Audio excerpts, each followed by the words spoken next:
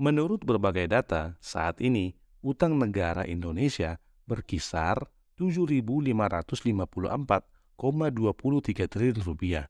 Jadi, bagaimana kelapa sawit bisa melunasinya? Berikut penjelasannya. Sebagai negara yang cocok memiliki lahan yang luas untuk tanaman kelapa sawit, bisa dikatakan saat ini keberadaan perusahaan kelapa sawit swasta yang ada di Indonesia jumlahnya mencapai ribuan. Dan kita harus jujur, masih banyak perusahaan kelapa sawit di Indonesia yang dikatakan melanggar dan harus dijatuhi hukuman. Sebut saja kasus Surya Darmadi atas tuduhan korupsi penyerobotan lahan hutan di Kabupaten Indragiri Hulu, Riau. Bos pemilik perusahaan dalam naungan Darme Group dengan total luas 37.950 hektar pada 8 Desember 2022.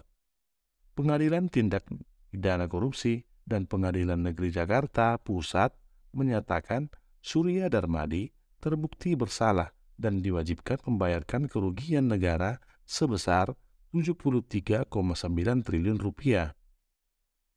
Keberatan akan putusan tersebut, Surya sempat memberikan pernyataan, cari 100 pelaku, negara punya hutang 7.700 triliun, Betul nggak?